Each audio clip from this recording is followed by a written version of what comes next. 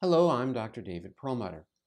You know, with all this talk about sugar and carbs and uh, avoiding sugars uh, being so important for health, you know, you might think that, well, then maybe this is a call for all of us to be jumping on the artificial sweetener uh, bandwagon. And I'm just going to uh, tell you that that's not what you want to do. There's no free ride. We're seeing a lot of literature that challenges the wisdom of this notion that we should be using artificial sweeteners. Let's take a look. So, of course, this is what we're told to do. If you don't want to drink uh, a sugar sweetened beverage, you're told to reach for diet this and diet that. But it looks as if new uh, literature is really challenging the wisdom of whether we should be doing that or not. Uh, this is a report uh, entitled Fueling the Obesity Epidemic Artificially Sweetened Beverage Use and Long Term Weight Gain. Think about that. Artificially sweetened beverages being associated with weight gain. This was published in the journal Obesity uh, back in 2008. And what the researchers did was they looked at 3,682 adults, followed them for eight years, and looked at their consumption of artificially sweetened beverages, and at the same time looked at how many of these individuals became either overweight or frankly obese, and uh, did so by looking at what is called their body mass index. And what they found was truly remarkable. I think this is a very powerful slide looking at how much uh, was consumed, how many artificially sweetened beverages were consumed per week uh, at the baseline of the study, and then over time, what was the change in the body mass index. And you'll see, moving from left to right, uh, those individuals on the left who did not consume artificially sweetened beverages, uh, their, in, their change in their body mass index uh, in fact, didn't really change, uh, 0.9.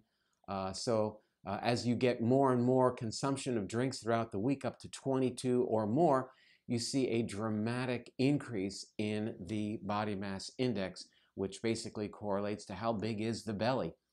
And these researchers indicated that, and I quote, we observed a classic positive dose response relationship, and I'll explain that, between artificially sweetened beverages and long-term weight gain, meaning that it's just like a drug. The more you do, uh, the more you get the response. That's called a dose-response relationship. It's uh, like, for example, if you took a blood thinner, the more you took, the thinner your blood would be. In this case, the more artificially sweetened beverages you consumed, the bigger would be your belly.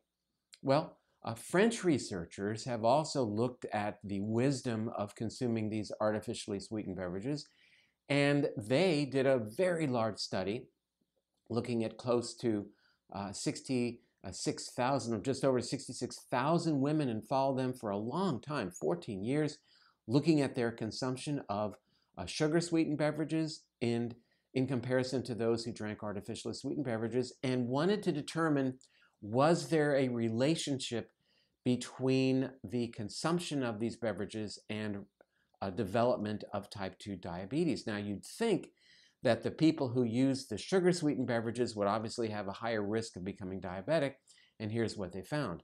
Look at these curves. Uh, on the bottom, we're looking at how many cc's, how many uh, milliliters of um, beverage was consumed as an average each week, and then uh, measuring that against the risk during the study of developing type 2 diabetes. And what you see uh, which uh, seems really counterintuitive, is that those individuals consuming the artificially sweetened beverages had a dramatically higher risk for developing type 2 diabetes in comparison to those who drank the sugar sweetened beverages. You wouldn't have expected that.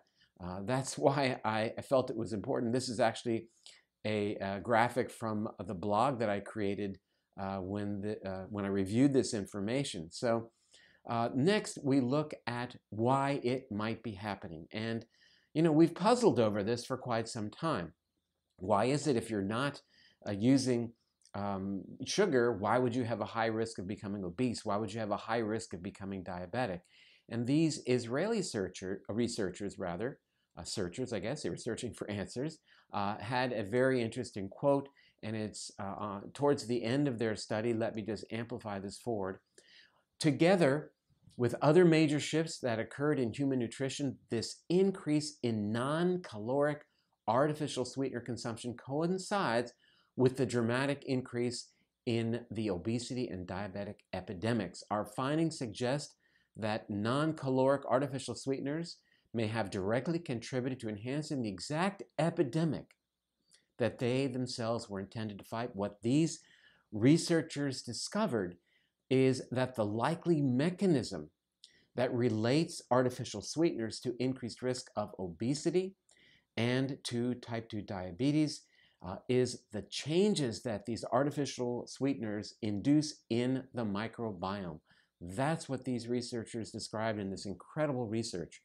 Well, you know, it's um, it's not nice to try to fool Mother Nature. And it reminds me of back in the early 1970s, there was a chiffon, artific- uh, like a butter chiffon, it was some kind of margarine uh, commercial that talked about how it was not nice to fool Mother Nature.